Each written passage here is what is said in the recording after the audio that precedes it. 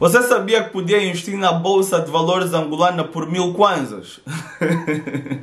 Eu sei, deve estar passando na tua cabeça agora, o Glitch deve estar maluco, mas não, não estou maluco, não estou nem um pouco maluco, estou super lúcido e essa deve ser uma das melhores oportunidades que o mercado angolano já ofereceu a você. Mas antes de qualquer coisa, subscreva o canal, dá um like no vídeo e roda aí a vinheta que hoje tem.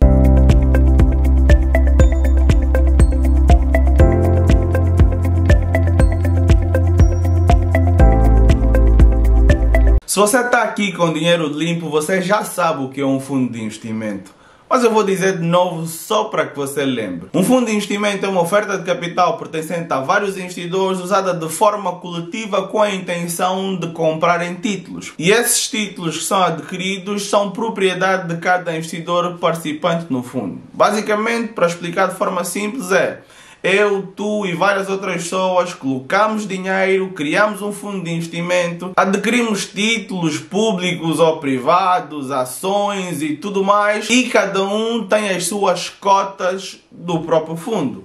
Os benefícios são uma excelente oportunidade de diversificação, Normalmente contas com uma gestão profissional e tens alguns benefícios fiscais, podes ter algumas isenções e em muitos deles baixas taxas de gestão se comparados a outros investimentos convencionais. E é por causa disso que hoje nós vamos falar do BFA Oportunidades 11, um fundo especial em valores mobiliários fechado. Um fundo fechado normalmente abre em momentos específicos para aquisição de capital e de investidores. Mas o fundo BFA tem as suas características especiais e é por isso que ele é chamado especial. Vamos entender porque é que isso é um game changer no mercado nacional e porque é que vai fazer toda a diferença para o investidor comum em Angola. Visto que você pode começar a investir no fundo com qualquer coisa próximo de mil kwanzas. Sim, eu disse isso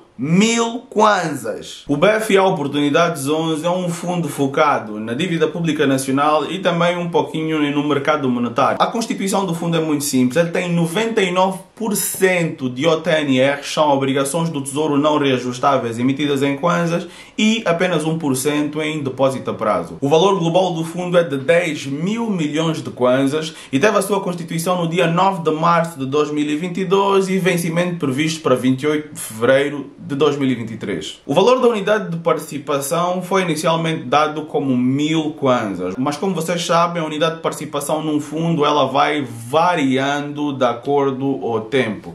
Esse fundo especificamente tem a duração de um ano, tendo o valor global de 10 mil milhões de kwanzas e a unidade de participação a mil kwanzas faz com que existam 10 milhões de unidades de participação disponíveis para negociação em mercado. Uma particularidade desse fundo que foi fantástica foi a admissão do fundo em bolsa no dia 30 de março de 2022. Um marco tremendo para o mercado angolano, pois agora, independentemente de seres cliente BFA ou não, tu traz a oportunidade de investir no fundo, que é algo que em Angola não existia. Basicamente, o BFA Oportunidades 11 é o primeiro Exchange Traded Fund em Angola, o primeiro ETF em Angola. Pois, independentemente de qual seja o teu intermediário financeiro, o teu banco, por via da mesma conta custódia que você já possui, você pode então ter acesso a investir neste fundo. É necessário lembrar que pelo fundo ser negociado em bolsa, você precisa de uma conta custódia. Então, sempre que a gente vai investir em ativos são negociados em bolsa, a gente precisa de uma conta custódia. A conta custódia é uma conta de intermediação financeira. No entanto, você não tem a obrigação de abri-la com o BFA, caso não tenha nenhuma. Você pode abri-la com qualquer outro banco e beneficiar desse investimento. Basta chegar ao teu balcão, dizer que você quer investir no BFA Oportunidades 11 e terá então acesso a uma ficha de subscrição mas aqui nesse vídeo nós vamos fazer com que você conheça todas as implicações do fundo. Lembrando que o nosso mercado é novo, o nosso mercado tem os seus problemas intrínsecos, então você pode ter alguma dificuldade a chegar aos bancos, a apelar pelo investimento ao fundo, mas seja persistente, vamos juntos porque sozinho é mais difícil e a intenção é fazermos e melhorarmos o nosso mercado. Algo que é importante mencionar é que apesar do fundo ser negociado em bolsa, nós podemos ter problemas de liquidez porque o fundo é fechado. Ou seja, no mercado primário, tu não vais conseguir reaver o teu dinheiro a menos que o prazo de liquidação seja completo. E o período de liquidez até chegamos à maturidade do investimento é de D mais 5. Ou seja, tu precisas de 5 dias úteis depois do período de liquidação. O que é que é liquidez? Liquidez é a capacidade de transformar um ativo financeiro em dinheiro ou vice-versa. Então, se você quiser reaver o teu dinheiro, você tem de vender as suas unidades de participação no mercado secundário. E aí você depende de um outro investidor querer comprar ou não. Então, passando para os riscos, existe um risco de liquidez no fundo, que pode ser grande ou pequeno, dependendo da demanda que for existir no fundo. Antes da gente partir para qualquer investimento, nós, enquanto investidores experientes aqui do Dinheiro Limpo, comunicamos para vocês todos os dias que os riscos devem ser avaliados em primeiro lugar. Vamos então olhar pós riscos a que o fundo está associado. Pela própria constituição do fundo, nos deixam um pouco tranquilos o facto de sabermos que 99% do mesmo tem garantia da dívida pública. E quando nos referimos à dívida pública, nós temos sim um risco de crédito, mas sabemos que o risco de crédito é muito menor quando o emissor é o Estado pois o Estado tem autoridade para imprimir moedas, se necessário, para poder cumprir com os seus compromissos. Então, ao contrário de um fundo que seja constituído por títulos de empresas, este fundo é em 99% constituído por obrigações do Tesouro não reajustáveis, que baixa bastante o risco de crédito, porque entre todos os emissores o Estado é de facto o mais confiável. Então passam assim a ser mencionados o risco de liquidez, o risco de crédito e também existe o risco da variação da unidade de participação. No entanto, nas obrigações não indexadas, porque os juros são prefixados e você sabe quanto você vai ganhar antes mesmo de investir, não há muito que temer o facto do valor da sua unidade de participação baixar. Por norma, ela vai subir, mas existem outros riscos associados cujo o fundo não pode controlar que é, por exemplo, o risco de desvalorização da moeda, o risco de inflação. Pelo investimento ser completamente em kwanzas, nós temos este risco de inflação claro ali no BFA Oportunidades 11. Mas se formos olhar, isso existe em todo o mundo. Em Angola não é exceção com a nossa tendência normal de desvalorização. No entanto, o ano de 2021 e de 2022 têm sido anos completamente atípicos e fantásticos para o investidor angolano, pois a valorização do Kwanza desde janeiro de 2021 superou os 35%. Só no ano de 2022, mais do que 20% de valorização, fazendo com que o Kwanza seja a moeda que mais valorizou no mundo todo. E isso já sabemos porquê. Preço do petróleo lá em cima, mais dólares no país, um enorme excedente e isso é muito bom para o investidor angolano. O que é que você precisa saber mais antes de investir? É que apesar do valor da unidade de participação estar muito perto dos mil kwanzas, para que você tenha acesso, você precisa de 100 mil kwanzas no mínimo para subscrever. Sim, gostaríamos que fosse menos, mas infelizmente, por enquanto, você precisa de 100 mil kwanzas para subscrever. Ou seja, tem que fazer uma aquisição mínima em mercado primário de 100 unidades. Mas depois de você fazer isso, você tem possibilidade de adquirir quantas quiser no mercado secundário. Por exemplo, já invisto no fundo, mas quero comprar apenas 30 ou 20 mil kwanzas e exista alguém que queira vender 30 ou 20 mil kwanzas de unidade de participação, eu posso claramente comprar. E isso é uma tremenda vantagem. Outra vantagem fantástica que até agora nenhum fundo de investimento em Angola tinha é que tanto para subscrição como por resgate, tu não tens comissões.